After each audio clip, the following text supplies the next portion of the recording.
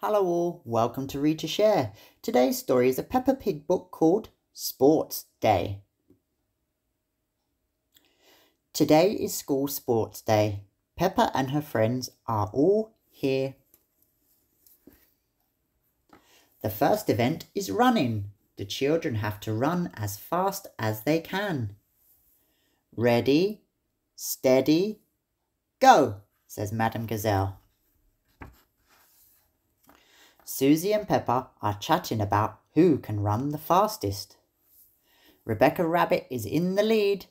Peppa and Suzy are right at the back.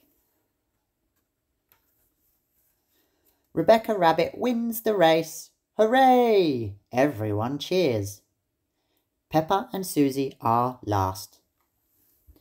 It's not the winning that matters, Daddy Pig reminds them, but the taking part.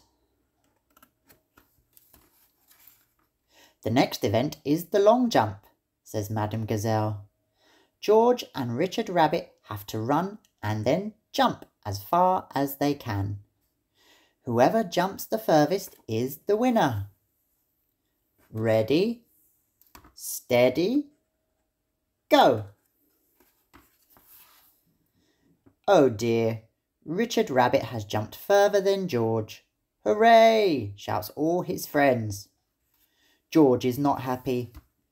Remember, George, says Peppa, it's not the winning that matters, but the taking part. The next race is the relay. Daddy Pig is in the lead. He hands the baton to Peppa. Thank you, Daddy. You did very well. Now it's my turn to... Begins Peppa. Stop talking and run, snorts Daddy Pig. Emily Elephant is the winner. Everyone cheers. Hooray! Peppa comes last. She is not feeling happy. It's the last event of the day, the tug of war. Boys against girls. The girls will win, snorts Peppa. Woof! No, they won't, says Danny.